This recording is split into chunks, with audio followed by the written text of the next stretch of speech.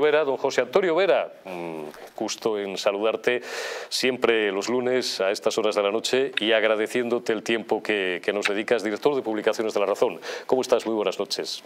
Muy bien, eh, Eurico, estupendamente encantado de estar aquí como siempre los lunes eh, contigo y con todos los oyentes. Eh, espectadores en este caso. Bueno, espectadores, oyentes, en fin.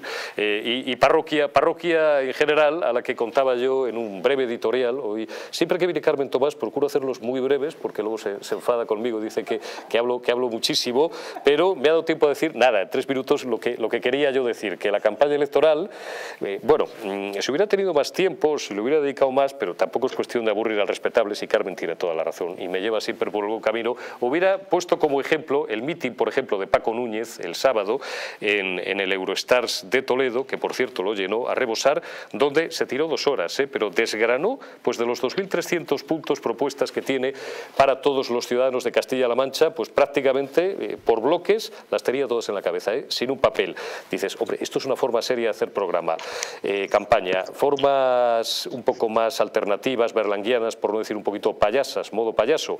Bueno, pues una cosa que yo pensé que nunca iba a llegar a ver y que, oye, mis ojos han visto, me puedo morir tranquilo, José Antonio, ese Pedro Sánchez Castejón, ese figura entrando en una librería, al azar, por supuesto, de Fuenlabrada y, eh, bueno, pues interesándose vivamente, porque los políticos sabes que son gente muy culta y la campaña, pues oye, es un buen momento para recordárselo al respetable, aunque los problemas reales de la gente se, se la rasquen.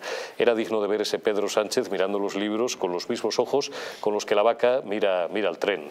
¿Es necesario este, este insulto a la inteligencia, estos vídeos sobreactuados, o serían deseables bueno, unas campañas, primero más cortas y segundo, en la que los políticos se dedicaran a hacer lo que tienen que hacer, que es explicarle al respetable A sus programas electorales, B qué formas tienen o proponen de solucionar los problemas reales de la gente? Sí, la verdad es que esto que, a, lo que nos tiene acostumbrado por otra parte Pedro Sánchez, ¿no? que son actuaciones eh, entre comillas eh, muy improvisadas, pero que realmente están absolutamente preparadas y que no sé si alguien se las puede creer. Supongo que cuando lo hace es porque alguna gente eh, se lo cree, ¿no?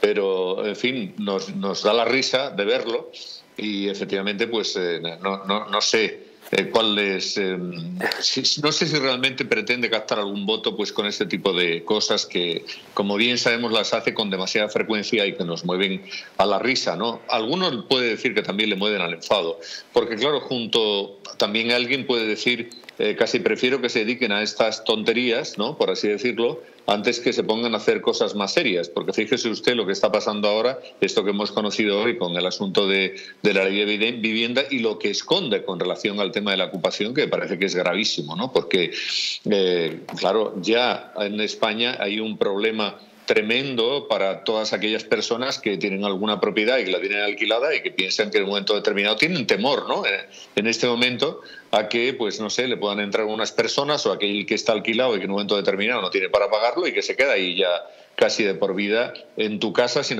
sin haber pagado absolutamente nada. Entonces, bueno, eh, en fin, eh, en ocasiones casi es mejor que hagan este tipo de escenificaciones que que se pongan a hacer cosas en serio, porque vaya usted a saber a dónde pueden llegar, ¿no? Ya te, ya te digo, te supongo informado y bien informado, José Antonio, de que el jueves se aprueba esa ley de vivienda con esa enmienda que ha transaccionado el Partido Socialista pues con, toda, con todos sus socios de, la moción Frankenstein, con Podemos, Compromís, BNG, Más País, eh, hasta la CUP, etcétera.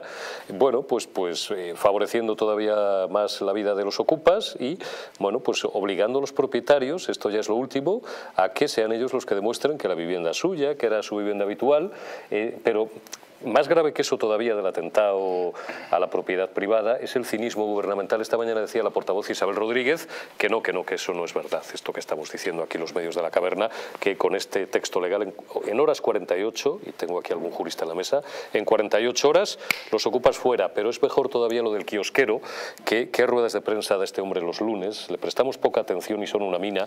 Pablo Fernández dice que esto no es un problema, esto de la ocupación, que esto es un rollo de los medios de la caverna y que, es un problema puntual, y que, pero que no hay alarma social, José Antonio, que, que si nos hemos dado un golpe o qué, que, que nada, que esto se arregla con pedagogía y los servicios sociales y tal, pero que no hay un problema real de ocupación en España.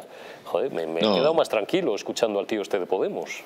No, es, es, el mundo al revés. Eh.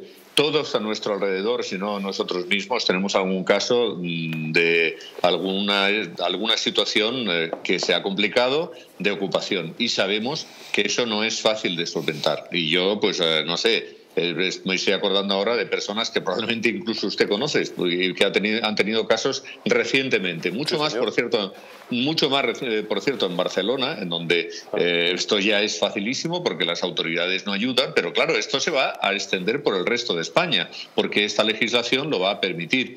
Y si al final, en efecto, pues el, tema de los, del desahucio, sobre todo en aquellas personas que sabemos que, que, lo están haciendo y lo están haciendo en una casa que no es de ningún fondo buitre de estos que pueden tener, no, no se sabe cuántos eh, cientos o miles de apartamentos, no, es personas, son personas que con su esfuerzo pues han conseguido comprar una segunda o tercera vivienda y que la han conseguido para ahorrar, justamente para cuando llega la jubilación poderla poderla alquilar y tener un ingreso. No, claro, con esta situación, al final, los que tienen los derechos, esto es increíble, pero es que esto pasa en este país.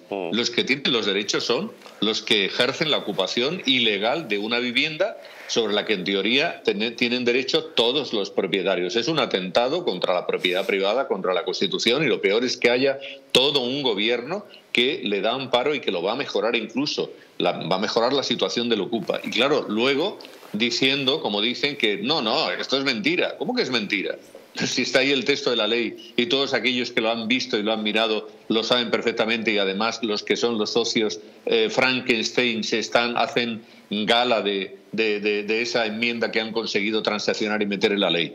En fin, eh, esperemos que, como dice el señor Feijó, primero que gane las elecciones, eh, que pacte si puede con vos, pero en fin, que puedan darle una vuelta al gobierno y luego que lo primero que hagan sea cargarse una ley como esta y otras muchas que también pues están sacando y que lo que hacen es eh, introducir un componente de inseguridad jurídica tremendo en la propiedad y en los ciudadanos en general. Don José Antonio Vera, director de publicaciones de, La Razón, que te agradezco mucho tu análisis como siempre y que nos dediques estos minutos los lunes. Cuídate y te envío un abrazo. Fortísimo abrazo, Eurico. Buenas Fortísimo abrazo, José Antonio.